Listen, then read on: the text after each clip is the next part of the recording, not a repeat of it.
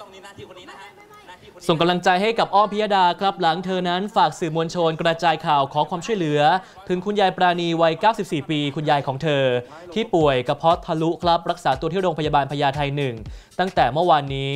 ว่าตอนนี้ต้องการเลือดกรุ๊ป O negative หมู่เลือด RH negative เป็นการด่วนครับอ้อมก็เปิดใจผ่านสายตรงกับทีมข่าวทวินไซ HD ของเราครับว่า อาการคุณยายนั้นตอนนี้ก็เข้าขั้นวิกฤตแล้วครับ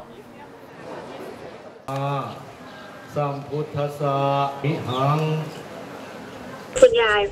ไม่สบาย 94อะนะคะอายุก็เยอะแล้วแต่ว่า คือคุณยายแข็งแรงมาก น่าจะทานยาแล้วทำให้มันกัดกระเพาะ แล้วทำให้กระเพาะทะลุแล้วก็มีเลือดออกในช่องท้องในกระเพาะค่ะออกเยอะมากจากปกติค่าคุณยาย 31 เหลือ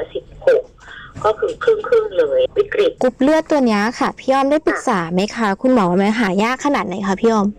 ก็ตอนนี้สภากาชาติไม่มีไม่มีเลยจะถูกไม่มีเลยในใช่ไหมประเทคะศไทยเลยนะค่ะคุณหมอน่าจะอยากได้ประมาณ5ถุงในครอบครัวพี่อ้อมเองมี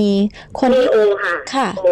โอนี่ก็ถีบมีค่ะ แต่ว่าค่ะไม่ลบอะไม่ไม่ไม่ได้เป็นอ๋อค่าที่แบบสามารถให้กับคุณยายได้ เดี๋ยวพี่รถผู้กำกับ แล้วก็พี่ๆหลายๆคนก็จะมาตรวจเลือดค่ะ มีคนตรวจเลือดไปแล้วสองคนค่ะเออเป็นโอนี่ก็ฉีดเหมือนกันแต่ว่าเป็นบวก ตอนนี้ก็คือก็คือ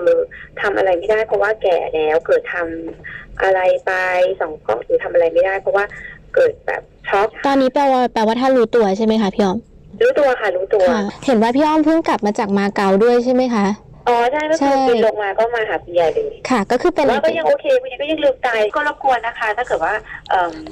รบกวนขออนุความอนุญาต ขออนุญาตขออนุเคราะห์นะคะ ใครที่เอ่อกรุ๊ปเลือดโอลิกทีฟนะคะ IS ลบนะคะ ก็เอ่อรบกวนไปที่สภากาชาติไทยนะคะ แล้วก็บริจาคให้กับคุณยายปราณีจินดาวานิชนะคะ อยู่ที่โรงพยาบาลพญาไทหนึ่งนะคะ หรือว่าโทรหาอ้อมได้เลยค่ะ ตามเบอร์ 0 8 8 2 8 9 2 4 5 1 นะคะค่ะก็โทรเลยแล้วเดี๋ยวอ้อมประสานกับทางโรงพยาบาลหรือว่าสภากาชาติไทยอีกทีก็ได้ค่ะ ค่ะขบโอณเคนะะได้ค่ะ พี่อ้อมเอาใจช่วยนะคะ ค่ะค่ะขอบคุณค่ะ